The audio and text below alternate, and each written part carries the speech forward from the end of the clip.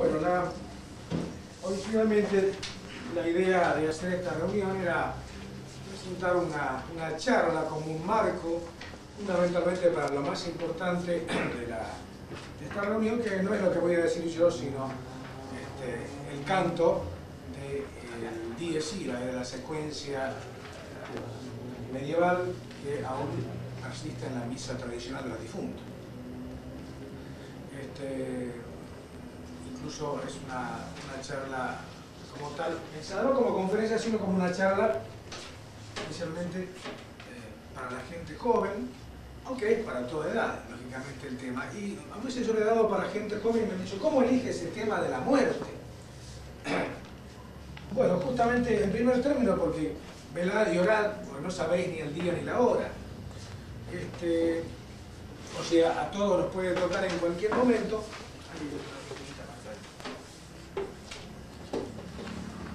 Por lo tanto es un tema actual y vigente.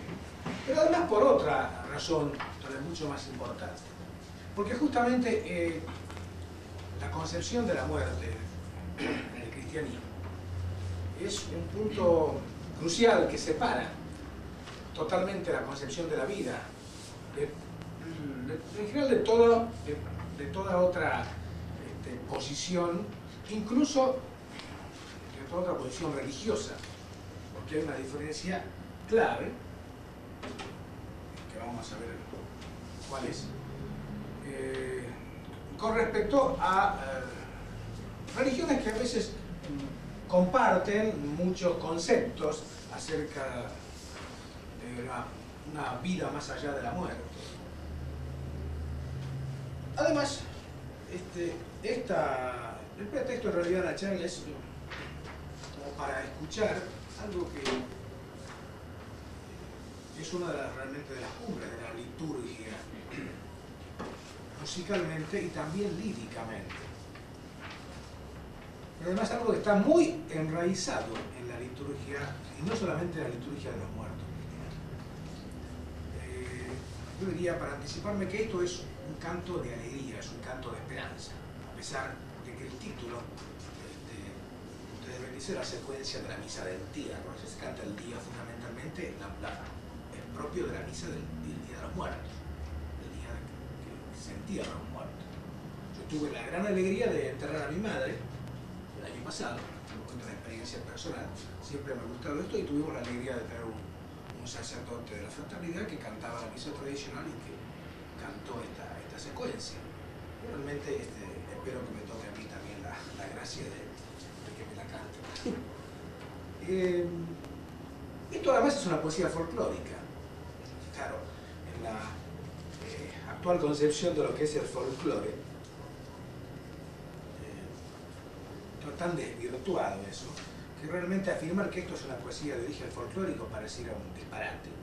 Pero justamente, si bien esto está compuesto por un monje franciscano, Tomás de Celano, 1256, que fue un amigo, un discípulo, amigo y biógrafo de San Francisco de Asís, eh, esta, poesía lírica eh, se difundió por todos los países este, a un nivel popular donde ya no se sabe, no se sabía. Incluso eh, como después fue incluida en la liturgia recién se, siglo se pudo volver a rastrear quién había sido el autor una gran difusión eh, digamos similar a la que podrían haber tenido en extensión los romances españoles ahora en este siglo en España o en Italia los pordioseros le cantaban este, el, el, día Sira, como le llamaban, eh,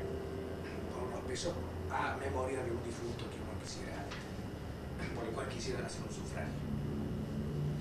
Es una poesía este, que tenía una repercusión popular realmente muy grande, por eso es folclore en el sentido verdadero de la palabra, algo que eh, condensa la sabiduría popular, en este caso la sabiduría además que viene mucho antes del autor.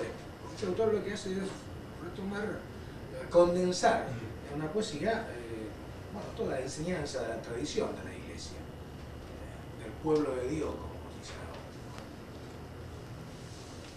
Eh, A mí me interesa hacer una, no, vamos a hacer un análisis detallado este, de cada una de las poesías, sino más o menos de cada una de las estrofas, porque sí, sí en general, porque realmente esta secuencia, eh, explicarla tanto formal como desde el punto de vista del contenido, eh, es para varias realmente. Pero eh, yo quiero dar esto como un ejemplo no solamente de, una, la, diferencia fundamental del cristianismo con respecto a las otras religiones y con respecto a la experiencia común de la muerte, que es realmente un momento trágico, eh, sobre todo si no hay esperanza, sino además como un ejemplo de que cómo se ha perdido el conocimiento de, de las implicancias que tiene una verdadera poesía lírica e incluso se ha perdido no solamente eh, en el nivel profano, sino en el nivel litúrgico. por ejemplo, un, este, libros especializados para, para, el, canto gregoriano, como el manual de varios tomos de, de Barón, que se llama La expresión del canto gregoriano, comentario litúrgico y musical de las misas dominicales y de las principales fiestas del año, un libro clásico para la enseñanza para la expresión del canto gregoriano seminario, dice de esta, de esta secuencia, que es lo trágico que domina aquí, con el temor que hace temblar, que contraste con la serenidad del requiem. El requiem es el, el introito de la misa de Sí, por supuesto, es una espléndida plegaria y es preciso al cantarla hacerlo en nombre de los difuntos. Hacerlo en nombre, o sea que hay que pensar que esto es para los difuntos, aunque en realidad no es. Le prestamos nuestra voz a los difuntos y aunque aquí no se trata del, del día del difunto, del juicio final, es la agonía la que tiene efecto y debe ser cantada entonces según el ritmo y el movimiento ordinario de las secuencias, sin agregar dramatismo de otras indicaciones técnicas. Es que fíjense que esto en realidad está aconsejando a los, a los este, cantores, sacerdotes, que eh, al cantar esta, esta, esta poesía que no tiene nada que ver con el resto de la liturgia, así dice, hay que este, pensar que se le hace por los Bueno, así que yo estoy absolutamente en contra de esto. Lo que no es así lo voy a, lo voy a mostrar. Pero antes que, antes que nada quiero dar algunas aclaraciones sobre un poco sobre la historia de esto. Esto, esto efectivamente eh, es una, una, secuencia introducida, ya vamos a ver qué secuencia, introducida en la liturgia, en la liturgia de los muertos en el siglo XV aproximadamente, aunque esto es un poco antes, ¿no es cierto? Del siglo XIII. Eh, como tantas otras eh, poesías, ha sido, o tantas otras este, ha sido introducidos en la liturgia, la misa, en el breviario, etcétera, etcétera, aunque vienen de procedencias distintas. Y cada una de esas poesías, como en el caso de esta que tiene su, propio, su propia estructura interior, temática y formal, al entrar en el poema general de la liturgia, estoy hablando desde el punto de vista estético, cobra otra dimensión por las relaciones que tiene justamente con el resto de la liturgia. Eso se puede ver muy, bien, por ejemplo, en los himnos cotidianos que cantan, que rezan los sacerdotes del oficio, que provienen de distintos autores de distintas épocas, pero que, este, que tienen su propio, por supuesto, su propio contexto de ideas, pero que se enriquecen enormemente al entrar en contacto con más himnos, que a veces son de épocas y de autores totalmente. Eh, hay una voluntad de configurar también formalmente la belleza de la liturgia, por los, por los que han, por los que han eh, dado un canon, por los que han, dado una, una configuración formal de la liturgia tradicional. Por eso también el rompimiento de la, de la liturgia tradicional solamente en base a una dificultad supuesta, una supuesta dificultad idiomática, desconoce el, la unidad profunda que tiene la liturgia en su totalidad, más allá de las diversas canales, las diversas procedencias que tienen muchos de sus, de sus piezas. Esta secuencia parece ser que originalmente eh, fue compuesta para ser cantada en la eh, misa del primer domingo de Adviento, en donde este, hay un evangelio que explica el tema. Sin embargo, ahora está este, eh, en la misa de difuntos. Entonces vamos a reconstruir un poquito la, historia de eso, para tratar de comprender mejor y de valorarla mejor este, en dentro de ese panorama. En primer término, ¿Qué es esto de una, de una secuencia? La, secuencia es una forma musical eh, de la Edad Media que tuvo una gran difusión dentro del canto gregoriano. Eh, ustedes saben que digamos, el origen del canto gregoriano, podemos decir que hay dos modalidades así en general, la salmodia canto de los salmos, y la himnodia, que son textos de nueva composición. Eh, nueva composición que se remonta en último término a la lírica clásica, especialmente se ven los himnos. Eso. Eh, en cambio los salmos provienen fundamentalmente del Antiguo este, Testamento. Eh, una característica la himnodia, que abarca no solamente los himnos, es el canto responsorial, o sea, de eh, respuestas de alternancias cantadas por dos mitades del coro o por un, un solo, eh, al cual le, contesta, un solista al cual le contesta el resto del coro. Eh, y la melodía va cambiando cada dos versículos y se van alternándose los dos coros. Y esto es el origen de la secuencia.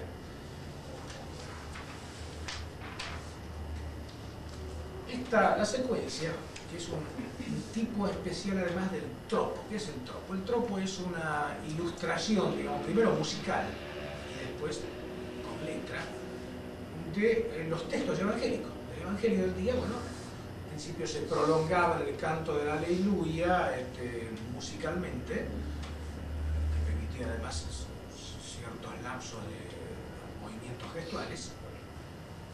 Y este, después se fueron agregando letras y después eso fue cobrando una vida propia.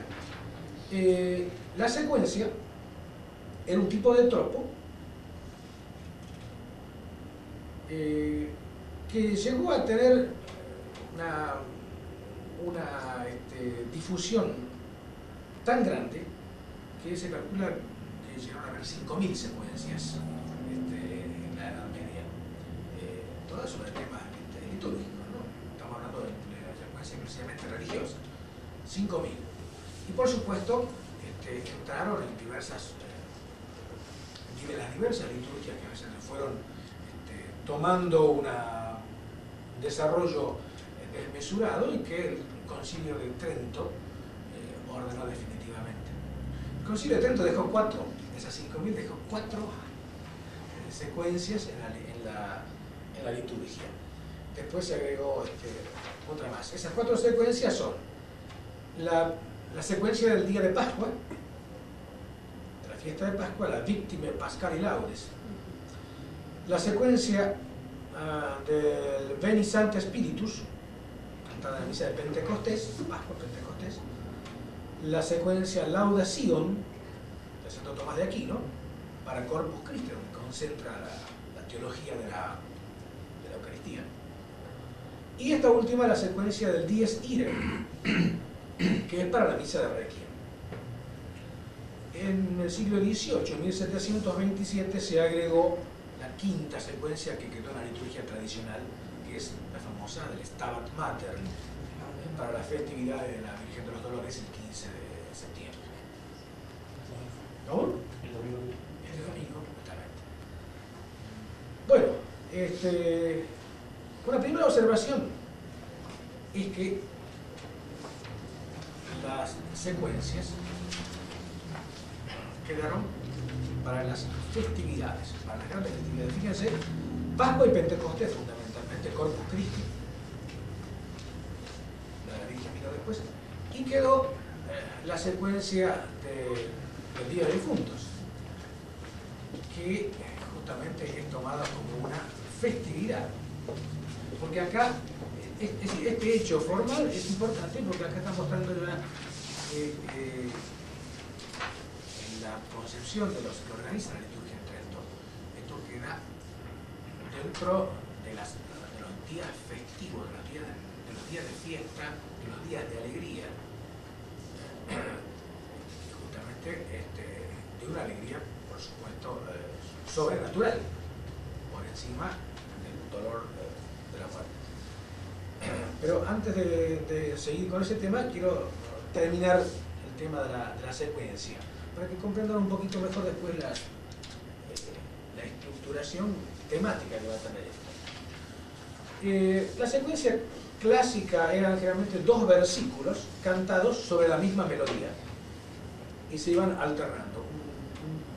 Un, semicoro canta dos versículos, los próximos dos los canta el otro semicoro y así. Había una introducción este, a cargo de todo el coro y una última estrofa también a cargo de todo el coro. Esa es la secuencia clásica aproximadamente del siglo IX, del siglo IX al siglo, al siglo y X.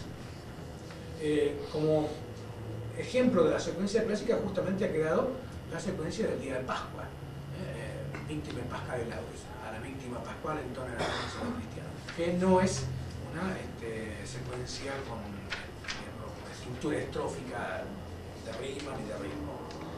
Después viene la secuencia rimada, con rimas desde el siglo XII, que va tomando por pares de, versículos y entra la rima, que es un elemento propio eh, del latín eh, tardío.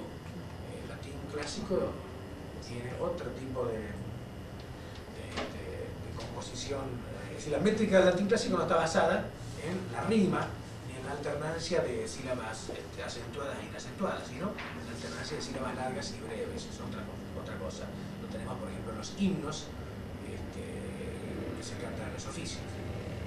Y la rima es eh, justamente un, legado, también uno de los tantos legados que deja el latín a, a los idiomas modernos. Y esta secuencia que tenemos con una rima incluso muy, muy particular, muy marcada. Finalmente la secuencia estrófica es una evolución de la secuencia rimada, esta que tenemos acá. La secuencia 10 y 10 es una secuencia estrófica que viene justamente a partir del siglo XIII.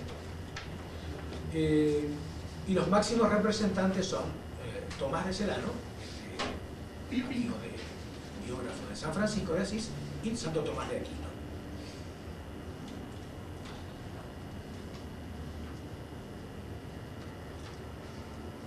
Bueno, vamos ahora a tomar el, texto de la, secuencia.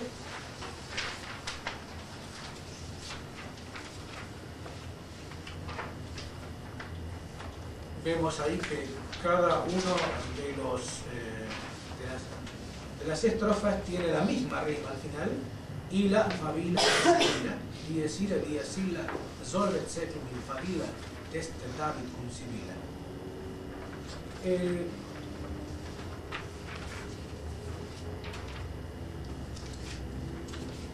cada, cada, versículo entonces tiene, eh, forma una estrofa de tres versos.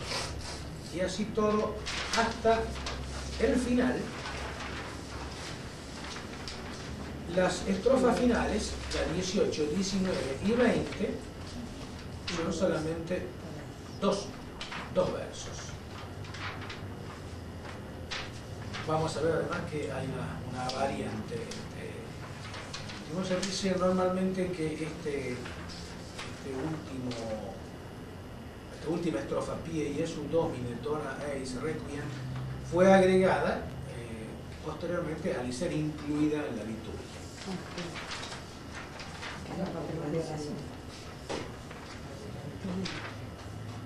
Ahora bien, eh, si ustedes tienen ese texto y tienen también eh, donde está, la, música. Van a ver que cada dos estrofas, y lo vamos a escuchar, un poco para ilustrar mejor la, la, la escucha en el canto gregoriano, cada dos estrofas tienen, se repite la misma melodía. Es decir, la estrofa 1 y la estrofa 2 tienen la misma melodía. Melodía A, digamos. Eh, la estrofa 3 y la 4 tienen la misma melodía, distinta a la 1 y 2, la melodía B. Y la 5 y la 6 tienen la melodía C.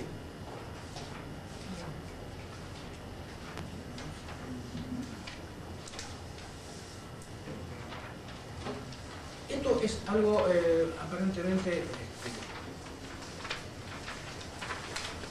no formal, pero es muy importante eh, aclarar que en el gregoriano el texto determina el ritmo de la melodía y su sentido. Su sintaxis y su intención lingüística determinan los incisos y el movimiento de la altura del tono. Es decir, eh, nosotros vamos, digamos, esto está creado, y esto es importante, no solamente para la poesía latino-cristiana, toda la poesía lírica antigua es una poesía que a la vez está creada por música. La poesía de Píndaro, la poesía de Horacio, la poesía de los grandes este, clásicos, eran creadas con música y no tiene nada que ver con, no, tienen poco que ver con nuestro concepto moderno de la lírica, es una poesía de la expresión del subjetivismo, concepto general. Hay modernamente algunos este, pequeños círculos de, poetas que componen Música y, letra al mismo tiempo. Pero eh, la lírica originalmente toma su nombre de, que entre los griegos la poesía era uh, cantada al son de la lira y tenía una temática sumamente amplia no subjetiva. La, línea, digamos, la beta amorosa, por ejemplo, es una, beta este, posterior y no la más importante de la. La lírica de Píndaro, el máximo poeta griego, o de Horacio, es una lírica fundamentalmente patriótica. el tema de la patria como objeto de la poesía lírica no se nos, entra en la cabeza dentro del esteticismo moderno.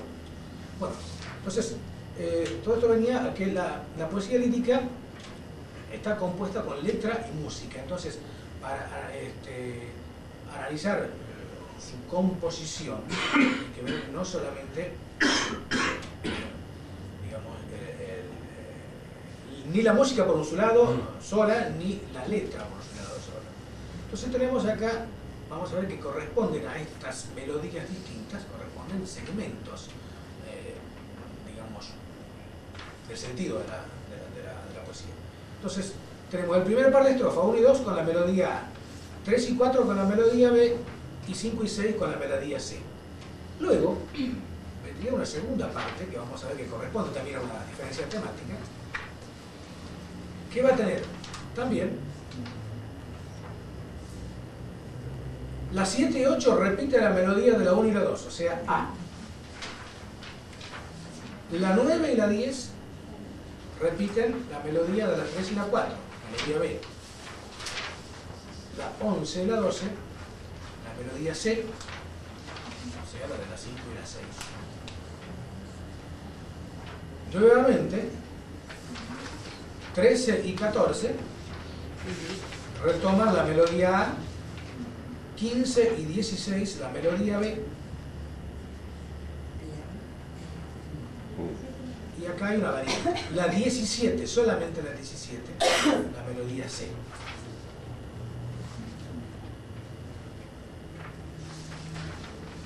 La última parte, 18, 19 y 20, no está planteada, es tiene una melodía D, pero la melodía D es total, no está planteada la 18, que la 19 repite a la 18 y la 20 todo una melodía única eh, que, eh, digamos, que se desarrolla a través de estas tres este, estrofas. Esto, eh, digamos que la estructura general está planteada eh, un desarrollo de la antigua estructura de la lírica griega y latina, que, planteaba estrofa, antiestrofa, que podía repetirse, como se repite acá, ¿no? Estrofa, antiestrofa, una composición poética y musical distinta, y finalmente lo que se llamaba el, el podo, o sea, el término del canto. Bueno, esto podríamos llamarle así también que hay alternancia de estrofas, antiestrofas, y finalmente con el podo una parte. Y esto, ¿qué tiene que ver con el tema? Bueno, podemos ver que hay muchas este, maneras de interpretarlo. Por ejemplo, hace eh, tres años, en esta revista de estudios clásicos publicada en, Buenos Aires, profesora África Curso publica un trabajo sobre dos concepciones de la relación Dios-hombre del Dies Ira de Tomás de Celano. Bueno, y ella sigue a un este, italiano, de Hermini, de 1928, que analiza la poesía desde el punto de vista eh, exclusivamente eh, formal, dejando de lado la música, dejando de lado la melodía, sin tener en cuenta la melodía. Y por eso eh, llega incluso a, cometer equivocaciones formales que son muy, muy extraños, muy este, impensables de una persona que realmente tiene un conocimiento técnico profundo de la ley. Dice, por ejemplo, dice, de esta manera, los tres últimos tercetos constituirán una cuarta parte que brinda una síntesis final a manera de cierre y de enlace circular. Eh, se llama tres últimos tercetos a partir del 17. Se toma la 17, un terceto, que si eso es un terceto, por supuesto, claro. A la 18 y al primero del 19 como un segundo terceto y el uic ergo parche deus adelante como un tercer, último terceto. Estos últimos evidentemente no son tercetos para empezar. Tienen una melodía totalmente distinta al del oro suplex entaclinio, o sea, la 17. Tercero, el pie y es su domine, o sea, lo que se llama eh, última parte, el 20 es un agregado posterior para ser incluido en la liturgia y no tiene la misma métrica. Iudicandus homo aureus es eh, un octosílabo, eh, otro, otro elemento propio de la poesía popular.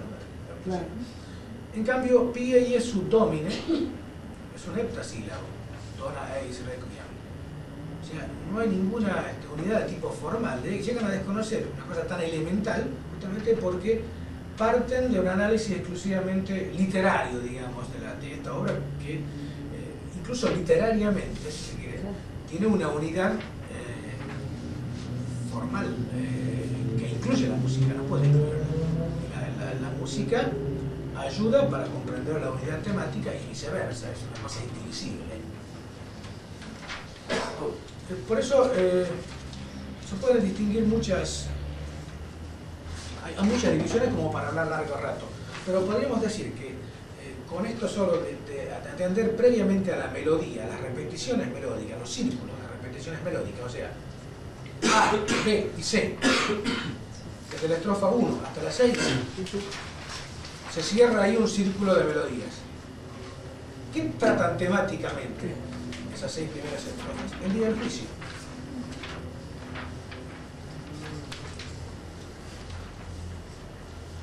Día de la ira, aquel día disolverá el siglo en el rescoldo, lo atestigua David con la sibila. Bueno, va describiéndose, entonces yo no quiero cansarlos porque vamos, si no a llegar, vamos a llegar cansados para escuchar la, música.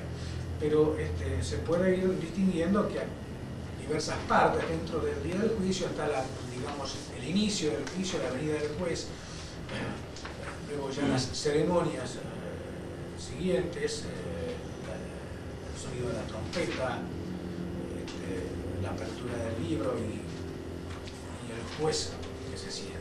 Pero esta, esta parte evidentemente claramente describe el día del juicio. A partir de la estrofa 7, que comienza un segundo ciclo eh, musical, más A, B, C y nuevamente A, B y C, hasta la estrofa 17, el tema es la, el ruego por la salvación personal. Antes había sido descrito, digamos, con una absoluta eh, lejanía la tremenda venida del, del, juez. A partir de la estrofa 7, con la pregunta,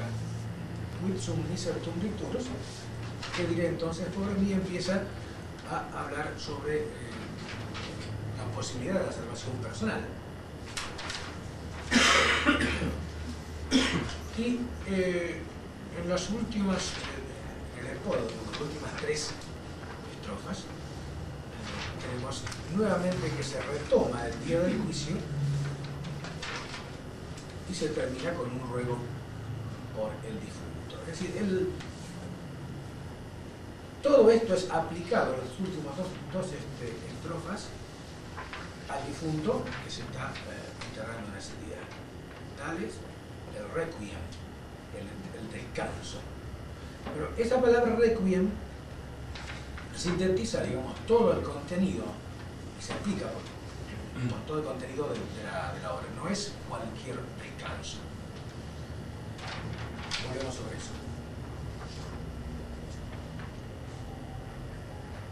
Les decía que este, esta poesía tan sencilla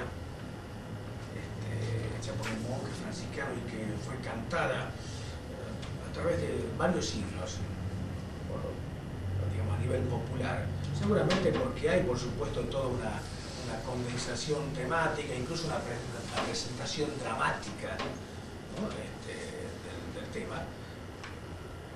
Eh, da para comentar cada una de esas estrofas largamente. Por ejemplo, la primera. Dies irae dies illa. Solvet seclum in familia.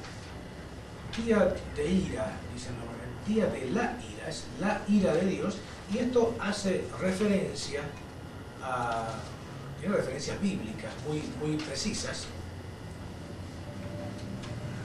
Por ejemplo, al libro de Job, ¿dónde me he de esconder de la mirada de tu ira?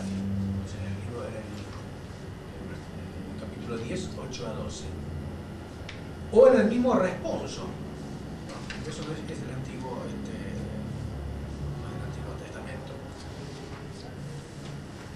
El día es el día de la ira, no es el día de ira, es el día de la ira de Dios, de la ira y, y del castigo de Dios por todos los pecados del mundo. Aquel día disolverá el siglo en el rescoldo. Aparte de las explicaciones de las palabras, si el siglo es el mundo como manifestación temporal, el tiempo es propio de la condición del mundo. Dios está por encima del tiempo y se va a acabar el tiempo mortal. Eh, el siglo eh, es un nombre que nosotros también lo, del mundo que nosotros también lo tenemos en el credo, cuando al terminar dice et venturi seculi, que se traduce normalmente como la vida perdurable. La vida del siglo que ha de venir. Es decir, ese, siglo es el siglo de la vida eterna, es el mundo eterno, es la manifestación definitiva de la vida eterna. En cambio, el que se va a acabar va a ser este, este siglo como la manifestación de la temporalidad humana. Y se va a disolver en el rescoldo, se va a ser purificado, como dice después, este, por el fuego.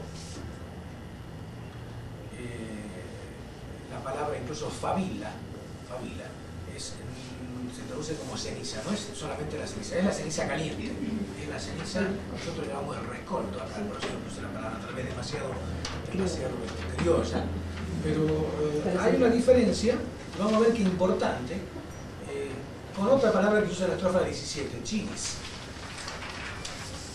Chilis es la ceniza, la ceniza como algo definitivo, el polvo vamos a ver qué importancia tiene. En cambio, después va a retomar acá, dice, lacrimosa ile dies ira, qua resurget ex favila judicandus homo. El hombre va a, va a resucitar a partir de esa ceniza caliente que implica una manifestación todavía de vida y de purificación al mismo tiempo. El tercer verso abarca, digamos, varios siglos de polémica. Teste David cum Sibila. Aparte de la discusión, creo que no la voy a aburrir acá, una discusión de orden sintáctico, este, si esto es, eh, puede interpretarse como que eh, lo han dicho, lo han profetizado David y la Sibila, o si van a ser testigos en el juicio final David y la Sibila, hay muchas interpretaciones, que David por supuesto es un rey profeta de Cristo, es el Antiguo Testamento hebreo. Y la Sibila, un, personaje que está incluido en la liturgia y al mismo nivel que, David, que eran este, unas profetisas Apolo, los griegos, también en el mundo, latino, que este, bueno, hubo muchas, muchas sibilas muy famosas que tenían diversas profecías. Eh, esto entra dentro de una, temática, una discusión mayor que es la relación del cristianismo con el mundo clásico. Y no solamente con el mundo de la literatura clásica, sino el mundo de la religión clásica. Hay santos padres al principio del cristianismo que abominaron de los dioses eh, griegos y latinos como demonios. Eh, hay otros que este, consideraron que el mundo, el mundo griego y latino como un antiguo testamento natural. De hecho, este, acá se habla de una sibila, hay muchas sibilas. Y fue además un personaje muy, famoso en la Edad Media pero tal vez la sibila más eh, conocida es la sibila de Cumas, que eh, eh, habría profetizado en Roma, según la interpretación que hace Virgilio, o según la interpretación que Constantino y muchos cristianos de Virgilio que interpreta la sibila, este, era, este, había profetizado claramente la venida de Cristo. En fin, para mostrarles en cada una de estas estrofas hay este, concentrado, digamos, una discusión muy grande, como para eh, hacerlo muy largo, un, objeto, digamos, objeto de análisis filológico, histórico, este, bastante detallado. Para no demorar más la ida a, escuchar el canto gregoriano, podríamos decir también que en esta primera parte, que llega hasta la estrofa 6, decíamos, tenemos ahí la, imagen del juicio y tenemos además una imagen de la divinidad de Dios como juez, como juez. Es decir, está ese, doble aspecto tan misterioso y tan incomprensible y tan inabarcable por la sabiduría humana, es en Dios está, es sumamente, infinitamente misericordioso e infinitamente justo. O sea que un juez humano es imposible de, comprender. Bueno, acá en esta primera parte está la infinita justicia. Conta stricte discusurus, a dirimirlo, a zanjarlo todo con vigor. Y es cierto, como este, decía el, comentarista litúrgico, que acá está la palabra tremor, eh, está la, muchas palabras que eh, implican realmente eh, el rigor. Coget omnes ante trono. Los va a arrastrar juntos a todos ante el trono. E incluso este, todo lo que está oculto aparecerá y no quedará nada sin castigo. Toda esta parte fundamentalmente, podemos analizarla de forma detallada, eh, es eh, tremenda fundamentalmente, como dice más adelante Rex, tremende majestatis. Y bueno, ante ese, ante ese espectáculo, ante esa terrible infinita justicia, eh, realmente el, hombre considera a partir del verso 7 su infinita miseria, su infinita indignidad. Quid sum miser tum dicturus. ¿Qué voy a hacer entonces yo, pobre, miserable?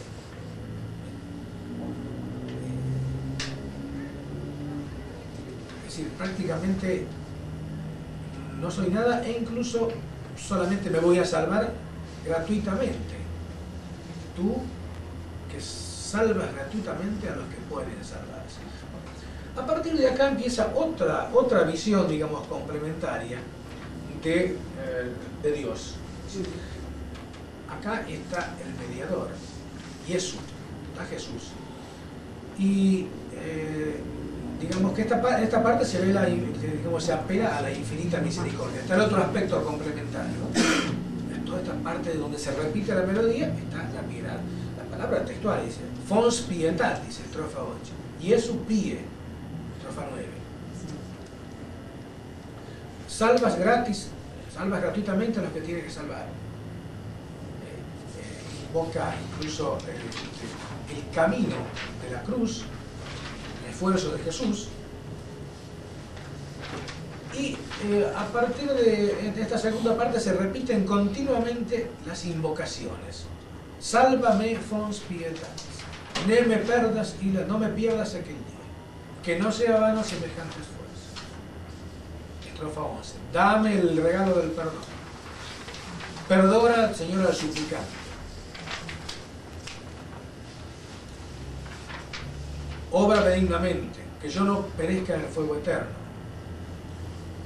Dame un lugar entre tus ovejas, llámame con la bendita. Esta parte segunda está, está enfocada, está enfocada hacia la, hacia la infinita misericordia de Dios. Y aquí, digamos,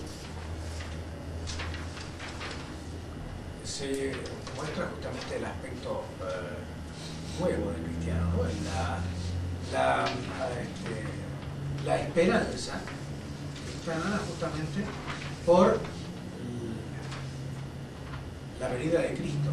Vamos a ver entonces que esto va a ser justamente eh, el rasgo diferencial más importante con todo el resto de las concepciones sobre la muerte. En la última parte podríamos decir que la estrofa 17 es más bien un enlace entre esa actitud de piedad y la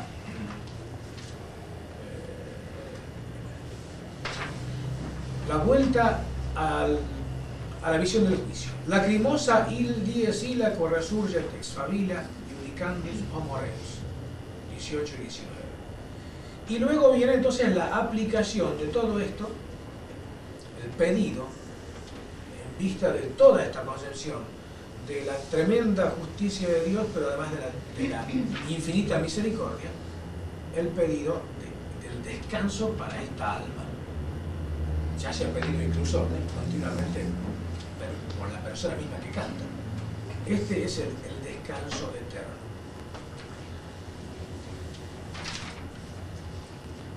Yo este, quiero simplemente ahora antes de escuchar mostrar algunas, eh, algunos textos es un tema, digamos, para desarrollar en un capítulo que hace una conferencia aparte, cómo está insertado esto en eh, la liturgia eh, los muertos, incluso no solamente la liturgia de los muertos, tiene referencias este, a, la, a, la, liturgia de Pascua, como hemos visto.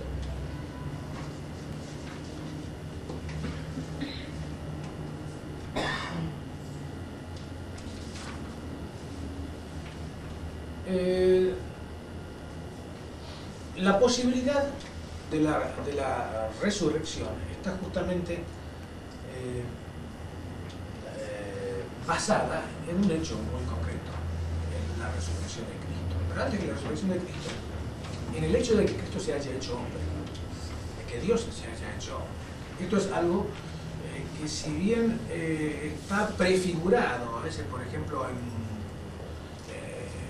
algunos mitos de lo antiguo, nunca se había planteado con, esta claridad. Y además, además esto este, va a apuntar un tema de fondo que yo no lo voy a desarrollar acá, que es el más importante de todo, que es el tema de que la muerte,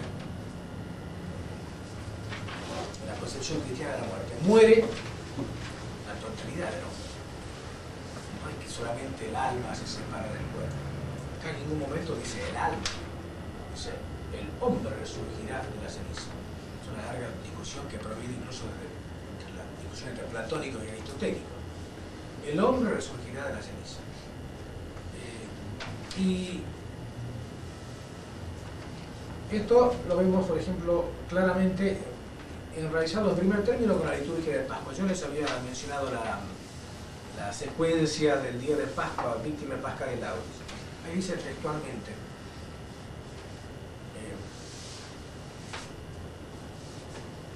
el Cordero redimió las ovejas, Jesús, inocente, eh, reconcilió al Padre con los pecadores. Nada más algo que tiene mucho más relación con esto. La muerte y la vida lucharon en combate admirable. El rey de la vida, el jefe de la vida, es el combate. Por su muerte, reina vivo. Es decir, lo que nos permite esperanza de la resurrección este, de la revolución total del hombre, del alma y del cuerpo. Qua resurge es familia judicandus homo reus, porque resurgirá del rescoldo el hombre para ser juzgado en su totalidad. Las tumbas, lo he dicho claramente, ¿no es cierto? La trompeta difundiendo su prodigioso sonido por los sepulcros de la región secundará a, a todos a mi es que va a resucitar el alma. Esto es una concepción radicalmente distinta de tantos espiritualismos eh, de cuño gnóstico que este, antes del cristianismo, eh, después del cristianismo este, eh, tradicional y hoy sobre todo, eh, plantean la resurrección al modo de una este, inserción general en el, ser universal, en el espíritu universal. Es una resurrección del alma y del cuerpo. En la misa de difuntos, creo que la mejor ilustración, mejor que todo lo que puedo decir yo, lo dice San Pablo a los tesalonicenses, la epístola de ese día. Hermanos, no queremos dejaros en la ignorancia respecto a los difuntos para que no os entristezcáis, como esos otros que no tienen esperanza. Porque si Jesús murió y resucitó, así también Dios que mueran en Jesús los reunirá con Él. Porque os lo afirmamos sobre la palabra del Señor. Nosotros los vivos, los que aún estaremos cuando venga el Señor, no nos adelantaremos a los muertos, porque a la señal dada, a la voz del arcángel, al son de la trompeta divina, están las, referencias textuales al día o del día a San Pablo, mejor dicho. El Señor en persona bajará del cielo y los que resucitaron, los que murieron en Cristo resucitarán primero. Después nosotros, los vivos, los que hayamos quedado, seremos arrebatados juntamente con ellos sobre las nubes al encuentro de Cristo en los aires.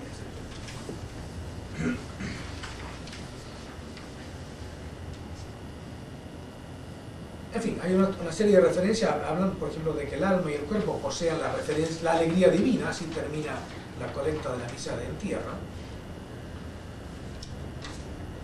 Y también el responso, Líbrame Domine de muerte eterna. En aquel día tremendo cuando se conmoverán los cielos y la tierra, cuando vengas a juzgar al siglo por medio del fuego. tiemblo, bueno, y se, viendo lo que ha de venir y, la, y la ira venidera. esto está perfectamente enraizado en la liturgia del Día de Difuntos, de misa de entierro, y además tiene una estrecha relación con la liturgia pascual. Entonces, todas las afirmaciones, incluso de este manual con el cual se enseña a los sacerdotes a cantar y a interpretar el canto. Es un manual tradicional, ¿no? el, canto de los difuntos no tiene ninguna razón y se basa exclusivamente eh, en argumentos de orden subjetivo. Vuelvo a leerles ahora. No hay, el, espíritu de esta secuencia es totalmente distinto al, espíritu del oficio de difunto. Aquí domina lo trágico, con el temor, con el terror que hace temblar. Qué contraste con la serenidad del Requiem. Parece que leí la primera parte. y bueno, esto no es que yo me ensañe con este crítico, simplemente eh, muestro eh, que hay muchísimo para trabajar en la reinterpretación de los textos tradicionales. No se trata simplemente, no ya digamos de tirar por la borda estos tesoros del cristianismo, sino simplemente de volver al preconcilio como simplemente para, retomar muchos de los cauces erróneos que tuvo el preconcilio, la iglesia del preconcilio. Esto es preconciliar. Sin embargo, fíjense que tanto esta intérprete textos litúrgicos como esta profesora ah, dedicada a, la tesis literaria, eh, basan su interpretación, interpretación exclusivamente en eh, cuestiones o sentimentales del sentimiento de lo que me produce a mí, lo que creo que me produce a mí esta poesía, o en cuestiones formales que separan totalmente el texto de la música, cuando eso trata, incluso por razones metodológicas, de una unidad total. Bueno, esta, este desconocimiento de la unidad del texto, en lo formal, en lo temático, en lo musical, esta obra de arte como totalidad, es lo que ha llevado justamente al vaciamiento de la piedad, al este, al, establecimiento de una piedad exclusivamente subjetiva, basada en la emoción, que también tiene que por supuesto ver, pero que no parte de una profundización del texto. Y estamos hablando de un texto, no de un texto evangélico, un texto sumamente sencillo que condensa toda la, liturgia, toda la, concepción de la, de la, muerte.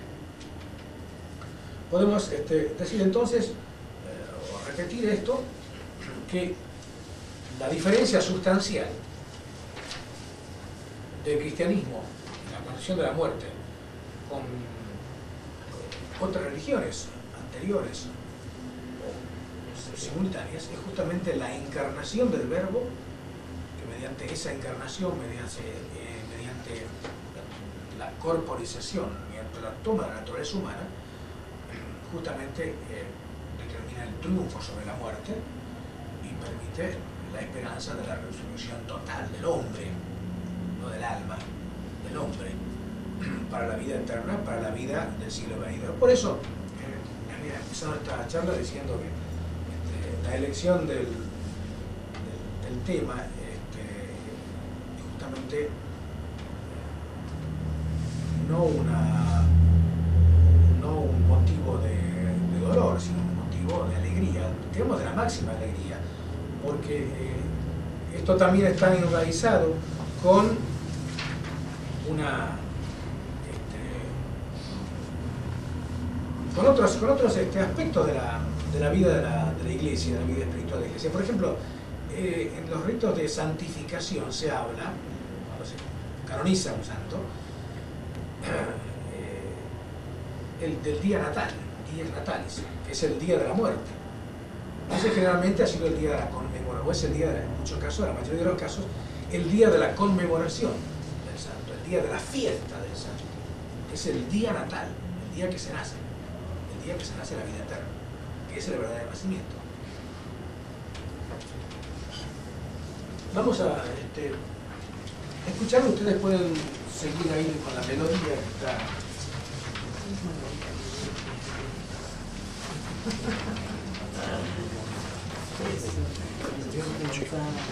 No, no, no.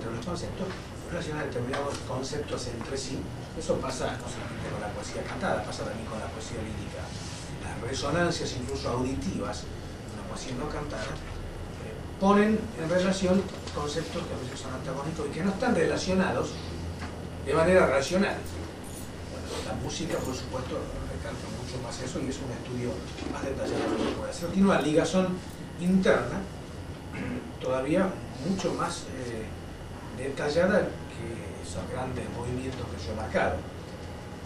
Y que por supuesto es el objeto de un análisis mucho más largo, que puede resultar tedioso en una conferencia.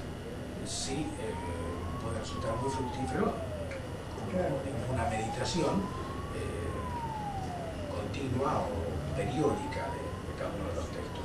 Por eso también, digamos, la periodicidad de la liturgia tiene el sentido de que cada vez se va eh, profundizando más en el, ciclo de aspectos que no se pueden a veces captar de una sola vez. Pero la, entonces la relación entre música y letra, la relación entre teología y arte, justamente es lo que hace que esta poesía, como vimos, está absolutamente insertada, entrelazada en la liturgia de los muertos y en la liturgia general, especialmente relacionado con la fiesta máxima del cristianismo, que es la fiesta del triunfo sobre la muerte, que da sentido a esta liturgia. Podríamos llamarle a esto no la liturgia de los muertos, es la de la esperanza, es la liturgia de la alegría, de la posibilidad concreta, histórica, basada en un hecho histórico, de la resurrección eh, y del triunfo sobre la muerte ustedes hemos visto también tiene entonces una, relación el tema con la forma que puede, como vuelvo a decir, ser analizado de forma mucho más detallada. Vamos ahora este, a, ver una, repercusión eh, muy posterior este, de, esta, de esta obra en la música de Occidente. Este, hay muchísimos autores profanos que, lo han, que han tomado el Dies Irae, lo han tomado, estaban más, pero sobre todo el y lo han, este, lo han musicalizado. Este, el más conocido es el de Mozart y el de Verdi, pero no solamente Mozart este, y Verdi, sino también Berlioz, este, la sinfonía fantástica, el aquelarre o en el requiem de la gran misa de los muertos, este, Liszt en la danza de la muerte, en el requiem también, este, Brahms, Hartmann, Palestrina, mucho antes, Haydn, Cherubini, Donizetti, todos ellos este, han eh, tomado el requiem o la liturgia de los muertos en general. Eh, el de Mozart tal vez sea el más este, excelso. Y así todo, para ver que hay una diferencia muy grande eh, con el gregoriano, no el texto, que es el mismo. El, el, este, forma parte del, del Requiem de Mozart, que es la musicalización de toda la, la misa de, de Requiem. Este fue encargado a Mozart por un desconocido, enviado por el conde de Franz Balsek Stupak, que había perdido a su esposa. Este, y este, este, conde justamente la dirigió por primera vez este, cuando estuvo eh, compuesta o terminada, que fue después de la muerte de Mozart, que muere justamente cuando está componiendo eh, el, el, trofe 18, el Lacrimosa. Esto se ha popularizado bastante a raíz de la, de la película Amadeus, que tiene otra, otras versiones ahí, este, se la adjudica el pobre salir y la muerte. Este, de todos modos, este, si hay una, una, cosa profunda de la película es justamente el, la, la, relación de la composición, porque está toda la, la composición del Dies Irae, este, digamos, atraviesa el argumento de la película. ¿no? Este, eh, ahora, eh, ya esta división que nosotros hemos visto, eh, esta repetición de las melodías que determinaba las grandes partes del Dies no están respetados en Mozart. acá en Mozart hay mucho más en Verdi lo que importa es el impacto operístico. Eh, en último término, eh, es un resultado de interpretaciones como la del liturgista este, muy anteriores, por supuesto. Este, ¿qué, es lo que me, eh, ¿Qué es lo que me sugiere a mí esta liturgia? Vamos en el campo exclusivamente de lo, emotivo, llevado al extremo justamente lo, lo operístico, lo externo pero por supuesto también es algo, algo este, legítimo y, está, tiene relación con el, texto, pero se pierde la unidad eh, litúrgica, la unidad de, la poesía religiosa. Es una poesía de tema religioso, es una composición de tema religioso pero no religiosa. Por ejemplo, vamos a escuchar ahí, eh, supongamos en la parte de Tuba Mirus Pargem Son, cuando la trompeta difunde su sonido religioso, que también está marcado por la melodía gregoriana. Vamos a ver unos hermosos trombones, unos cornes de baseto, eh, eh, dentro de un carácter predominantemente serio, todo el, el, está basado, digamos, en, el re menor, en la tonalidad del re menor. Hay fugas, hay polifonías barrocas que van, eh, digamos, siendo un comentario del contenido. no, es, no hay la unión íntima entre música y palabra, sino que es un comentario musical, un tropo sobre el tropo, para decirlo así. Un desarrollo, una glosa sobre la glosa del texto evangélico, de los textos evangélicos, que en este caso también es el Dies Hay referencias al Apocalipsis, al Antiguo Testamento, etc. Eh, lo mismo, eh, supongamos, en el, en el Lacrimosa, la estrofa 18, vemos ahí cómo se va, para ver cómo se va elevando poco a poco en la escala de re menor, con pausas, pues cada vez más aromáticamente, la imagen se va elevando el volumen incluso, como un símbolo de la, de la imagen del hombre, lo que está diciendo ahí, resurge, ex familia, de la imagen del hombre que va surgiendo, va resurgiendo desde la tumba, con esa pesada carga de su culpa hasta llegar al juicio final. Es decir, todavía, eh, por supuesto, hay en Mozart una serie de comentarios musicales así que tiene relación con el texto.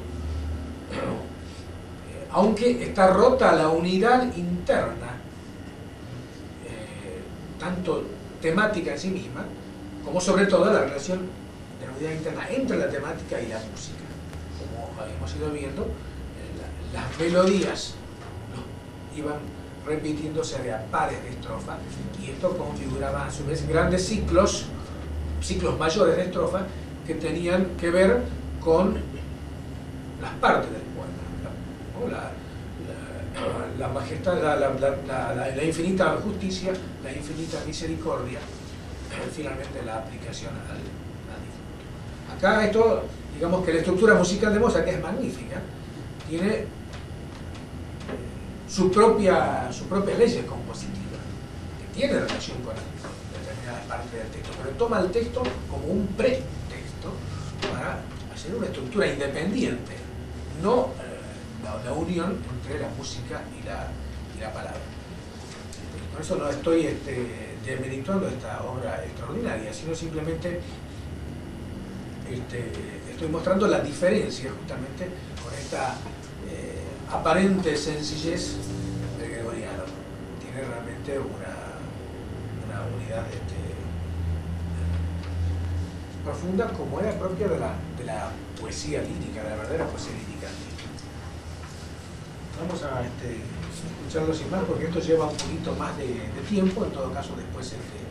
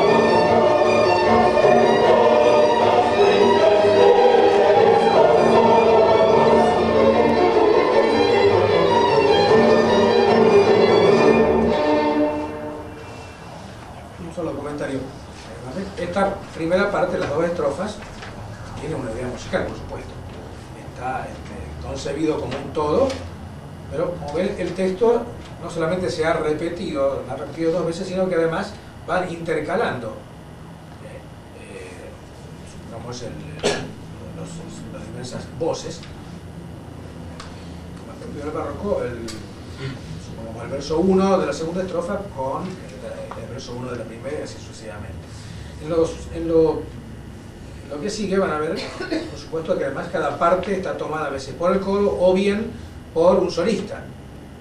Y ahí sí, este, el, no, va a seguir como ha seguido en esta primera parte la, unidad de este primer grupo de dos estrofas, sino que este, el texto está al servicio de la, de la expresión de cada una de, las voces, el lucimiento también de las voces, y a su vez, este, por supuesto, trata de adecuar eh, la voz al tema, por ejemplo, acá, o al tema, la voz y la, orquesta, o los instrumentos al tema por ejemplo, acá en el comienzo de eh, la tercera estrofa con la trompeta del juicio.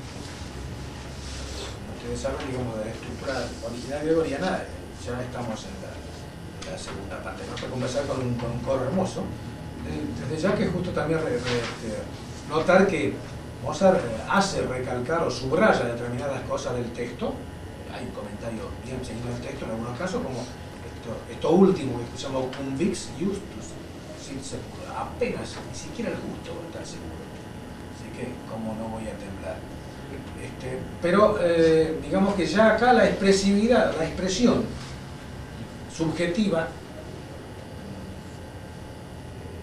digamos, pasa a primer plano eh, rompiendo el equilibrio que hay entre texto y, entre letra y música, este, la contención, ese arte que realmente es clásico, eso es justamente lo clásico, el equilibrio con los contenidos, era el, eh, de la melodía gregoriana.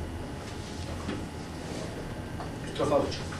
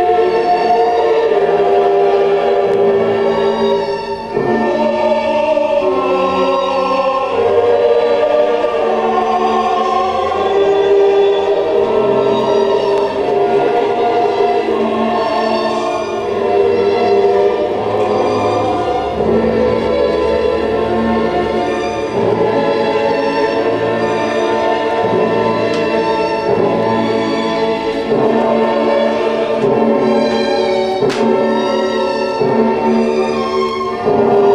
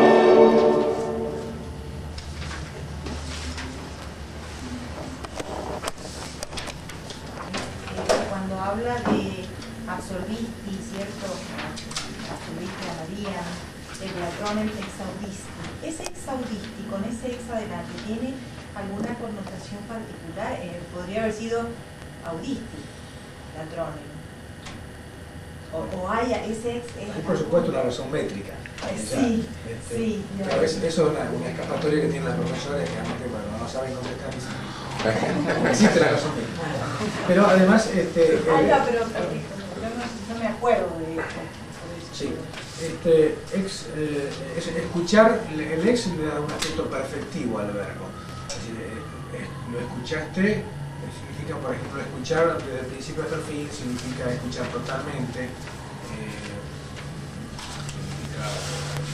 escuchar todo. Pero este, en el caso del particular del ladrón lo ha escuchado y además ha accedido al ruego. Escuchaste totalmente, no solamente. Se dice, por ejemplo, audio y ex audio. Ex audio es escuchar ex significa de adentro hacia afuera, ¿no? Después eh, da eh, lo que se llama aspecto perfectivo, o sea que la acción se ha realizado totalmente. Aplicado al caso particular, se refiere por supuesto al buen ladrón, lo ha escuchado en su totalidad y ha accedido a su cuerpo. Y por eso, y eso es la base de lo que dice después, también a mí me diste la esperanza pone dos, casos ¿no? Este, los cuales pasa su pedido. No solamente Cristo ha, este, vencido a la muerte con su muerte, sino que además este, ha tenido misericordia en el caso de María Magdalena y en el caso del buen ladrón. Por eso también no solamente por, el fondo de la cuestión, sino por tu actitud concreta ante